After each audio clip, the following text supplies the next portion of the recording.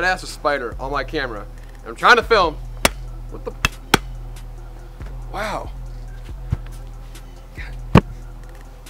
All right, what's up, guys? So today the 240 is finally getting some love. Um, this weekend is OSW Summer Sleepover. It's a huge event, three days, Friday, Saturday, and Sunday. A lot of driving, a lot of tires being burned off. I'm um, very excited to drive the 240. As always, it, it's amazing to drive. I love it so much. So as you guys know, with this amount of power and amount of grip I have with this car, I keep breaking axles literally like every single event. And to not break them, I've been running like 35, 40 psi on Kendas, which is like no grip at all. So I'm just roasting the tires, not going anywhere, being slow, and I hate being slow. I cannot stand being slow in drift. So I sent my stock 240 axle stubs out to Nate at Villains. He makes the Z adapters so you can run uh, Z axles, actually Z33 axles. So they're much more durable. I'm very excited to drive the, um, weekend with those axles so I can finally have some grip and you know be fast and drift and you know just be no, have no worries. You know, every time I go drive these days with this freaking car, I'm worried I'm gonna I'm gonna break shit. So I just literally just you know I'm just driving. I enter and just like easing the throttle. I can't do I can't do anything I want to do. So I'm driving kind of like a baby and it's really bothering me. So I want to drive hard as I possibly can with these new axles. I'm really excited to do that. So huge shout out to Nate for uh, getting those axles out to me this week by Thursday hopefully. So I'm very excited to get that done. Also guys, I'm so sorry for the other video. Uh, the audio is just I guess kind of crappy on the iPhone. I didn't have my camera with me, so I just used my phone. I didn't know that it recorded like not that great on one side. I don't know. It was weird. Everybody was commenting saying that, you know, it came out of one side, but I didn't really even hear that in my editing software. I didn't hear any of that until I put it on YouTube. But then I started to see what they were saying, and I was like, oh, dang, okay, I'm sorry. But no more of that. I bought a mic, so the mic should be working good with the phone whenever I use it and with this camera. I'm sorry, no more bad audio. Good audio for now. But for today, the 240 is getting some love. Mostly today, I want to make it look nicer. I have the KBD kit on here, but the, the KBD uh, bumper on the rear kind of sags a little bit, but I figured out a way I can pretty much mount it so it stays in the correct position. Right now, it's been like sagging for forever and it's bothering me, but I want to look good for this weekend, so I'm going to do that first. Second, I have the MPC 100 proof 240SX engine bay dress up kit. I'm really excited to put this on. Huge shout out to uh, Fletcher at MPC hooking me up this kit. Uh, you'll see that today in the video. It has everything you need. Every exposed bolt you see in a 240 engine bay is pretty much like looking janky and looking crappy, you know, but this makes it pop, makes it shine. So I always like myself looking good, so I'm very excited to put this on my car. So a lot of you guys have been asking me to do a video on the Subaru, and the Subaru is a great car. It's a fun car. I love driving it. The past few months, I've been really gotten the drifting, obviously. Like, that's my main focus. But the past few weeks, I've been, like, loving this car. I've been loving driving this thing. Like, I've been driving the truck so much. Yeah, it's a truck. It drives great. It's pretty decent on gas. It's fun. I can tow crap and all that stuff. But once you get into this, it's like, dang, I kind of want to drive this for, like, for, like, a while. Alright, so as you can see, it's another gloomy day in Florida, you know. Oh, the sun just came out. See, Florida. It's gloomy and then it's sunny out in five seconds. There's a blue sky. Okay, never mind. Anyway, here's my Subaru. You guys have asked me to do a review on this car, so be on lookout for a review on this car later this week or next week. Um, I drive this car a lot, actually, like my weekend car, or like when I'm bored, I just drive this instead of the truck. The truck's kind of like, it's a truck. It's fun to drive, but driving a quick little Subaru, going on some back roads is always a fun time. So later this week, I'm gonna do a full video on it, name all the bolt-ons, name all the mods, suspension, the wheels, the tires, all that stuff, you know, detailing stuff I have done to it, all that. I'll also do a full basic detail and explain what I do every time I wash my car. If you guys didn't know, this is my second Chevy 1500, sadly. I bought one a few months ago and I had it for a month, got in a wreck and lost it for insurance reasons. I'll explain that in another video, but I'm selling the other one very soon. I'm gonna get some money for it. I'm gonna lose a lot of money, but I can't really help it. So I'm just gonna take the loss, move on with my life, and just drive this truck until it goes. I bought this truck pretty much to trail with 240 and have as a daily to stop, you know, putting miles on this thing. This thing looks, God dang, this thing looks so good. Oh, I love this car, but I want to sell it, but I can't sell it. I don't know what to do. Maybe one day I'll sell it, but we'll see. Also, my truck, my Chevy 1500. This thing is pretty old, but it's amazing condition. It drives amazing. It tows amazing. It just is a, it's a great vehicle. I love it so much. I'm to do a full decontamination and full detail on this truck very soon. I just haven't had time to do it yet, so I'm to go to the detail shop this week and get some supplies and do a full uh, correction, polish, sealant, ceramic coating, make it look amazing. This color is a great color, but it's pretty bland right now. It's just been sitting, you know, for like years and it hasn't been properly detailed ever. I can literally tell by the paint, but it's not that bad, but an easy touch up, a few, few hours of work can make this thing look really good. Hey, if you know, you know. But back to 240 guys, we'll get started on this right now.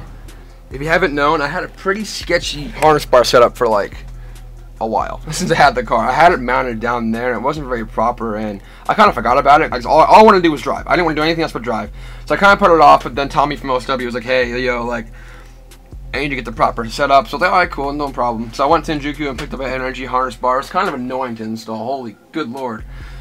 It, it triggered me hard. If you know me, I'm triggered, I'm triggered. So, this is installed now nice and solid and properly for the harnesses for this weekend. And we're all safe and ready to go. Yes, I'm doing a full 240SX card check. I'm going to start a new series on my channel. Well, my first series, actually. Views Through the Red. My friend Christian is an amazing filmer. He has a red camera, a very expensive camera, and it films in like the highest quality you can possibly get. If you didn't know, my first video, my intro to my channel was filmed with a red camera, and we're going to do a full review this weekend at OSW on my S13 with the red camera. So be on the lookout for Views Through the Red. That's going to be my first series on my channel. Yo, I literally forget how dope this car is sometimes. Like, I don't look at it for like, I don't know, a day or two. I come back to it, it's like, God damn, this is mine.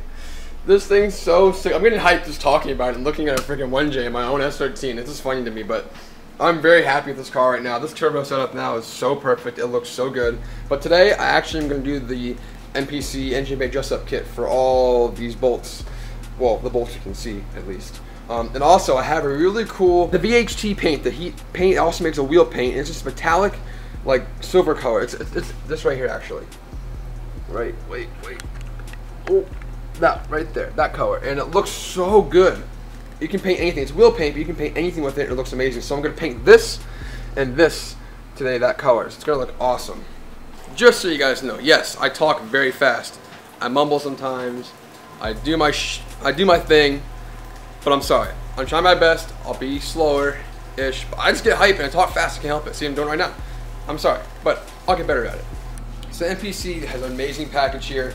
It is the S13 engine bay dress-up kit. It pretty much supplies you with every single bolt that is exposed that you want to look good. Um, I got the polished color. I love polished stuff. I like black too, but the polish just stands out to me, so that's why I got that. Again, huge shout out to Fletcher and MPC for getting me this kit. So I'm going to start with the fender bolts and then the wiper motor bolts. I don't know why I'm like most excited for those. Those to me pop the most. So I'm going to start with the fenders and then go to the wiper motor.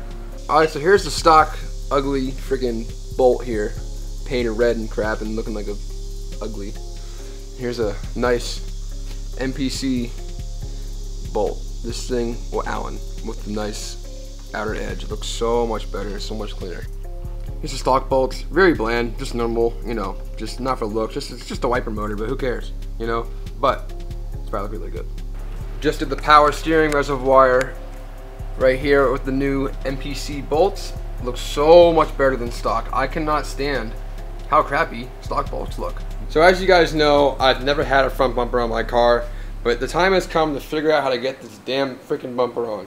Alright, so my reasoning for why I haven't had a bumper. Okay, so I have a custom bracket for my intercooler and my radiator. So this right here mounts to where the bumper would usually mount to, right here. So what I'm gonna do, I'm gonna try and drill a hole right here inside my custom mount or something like that to have it mounted exactly where I need to be so it lines up good with the hood. So I just got a Sharpie and marked where the hood sits right here. So I can hold this up right there and make sure it's perfect with the line of the hood.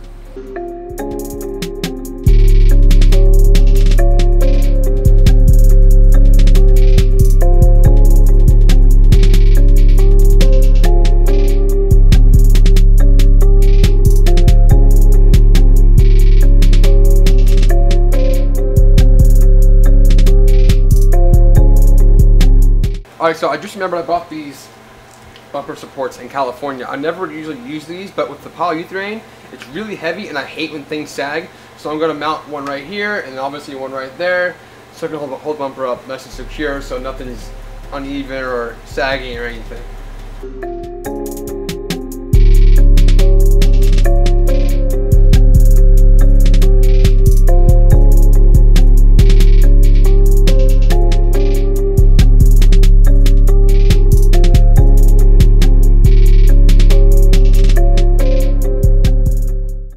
It's time for this side. Exact same thing on this side as that side. All right, guys. The moment has finally come. I'm impressed with myself. All right. So the bumper is actually on. Doesn't look that bad.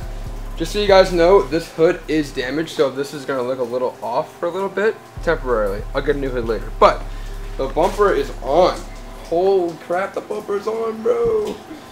Yeah, I'm stoked. I'm so tired of not having a bumper anymore. This is so awesome. I've been waiting so long for this moment. Heck, yes, dude. I'm so stoked. All right. Fitment's not like Origin or anything, but it's on. That's all that matters. So I'm happy. You're happy, I'm happy. So let me know in the comments below if you're happy. All right. So up next is the core support and radiator hardware, right here. So all these raggedy, ugly looking bolts here are going to be nice and shiny. Yeah, these are old. These are like older than me. I think. Yeah, they're older than me. Pretty crazy. So, nice refresh, nice shiny bolt did the trick. So since I have a custom setup here, I can only do one of the nice bolts and then another one of the nice bolts, but I had to leave off the washer. But all in all, it looks way better. Look at this. I don't have this size bolt, but compare the difference between this one and this one because this one's just old and rusty and this one's just nice and shiny. Much better. Alright, so up next is the hood hinge hardware. Once again, old rusty bolts, painted red. Nah, bad.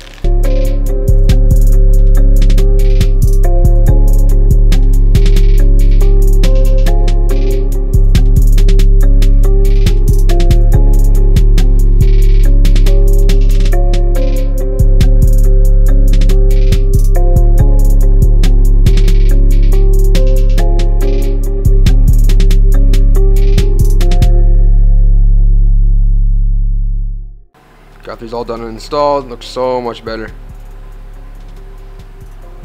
So I had a lot of washers and nuts left over, so I pretty much just utilized them on top of the uh, engine right here. I use these two with the washers, these two, and these two with the bolts, and these two with the washers because the two middle ones I couldn't fit the washers in because of the how this is like that. So it all in all, looks so so much better. The engine bay looks a lot nicer, a lot more fresh, a lot cleaner. Now that the MPC is all done, I'm to start taking this apart and this apart so I can paint these that metallic color I told you about. Yeah, the silver's nice and all, but I like I like metallic colors a lot better. My camera died, so I'm on my phone right now. I got a microphone now, so it should sound good. Let me know in the comments below. But I got this VHT wheel paint, this awesome, what color is it? Graphite, that's what it is, graphite. It's a, it's a metallic like gunmetal color that looks so good and it blends really nicely.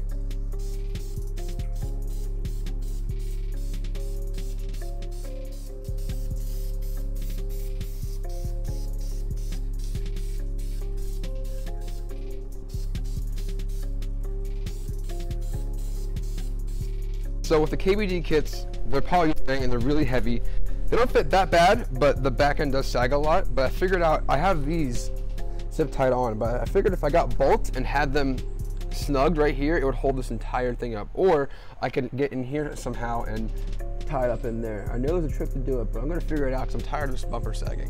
You're supposed to drill a hole in each of one of these right here on that lip, and then all you do is just get a nut and a bolt and you just screw it on so it stays flush. Wow. I didn't know it was that easy. I'm kind of mad at myself right now. All right. I'm kind of triggered, but I'm really happy because this thing fits so much better. That's sick. My whole entire kit's on now for the first time ever. I'm stoked. Heck yes. The bumper on properly. Very stoked on that. Oh, I feel good. Everything's done, finally. Interior looks mint. Everything is finally said and done. All in all, it was a great day. Got everything I wanted to do done. Engine bay cleaned up, all the bumpers on, everything dialed, just ready to go. All I gotta do now is do the Z stubs from Villains. Once again, huge shout out to Nate from Villains. I'm so stoked. He got them done so fast. They should be here Thursday. So Thursday, I'm gonna take the diff out, swap the stubs, put the new axles in, and I should be good to go. Once again, this weekend is OSW Summer Sleepover. It is from Friday to Sunday, the 27th to the 29th. It is a lot of driving. It's a blast. I cannot wait. All the all the weekend events are a bunch of fun. Um, so if you're in town, come out to that. It's gonna be a blast. It's pretty cheap. If you're camping, I think it's like 150 for the weekend, camping and driving. And if you're not camping, I think it's 50 bucks to chill and you know just hang out. But yeah, all in all, it's gonna be a great event. Very excited. So come out to that. And once again, thank you guys for watching. Make sure to like and subscribe. And I'll see you guys next time.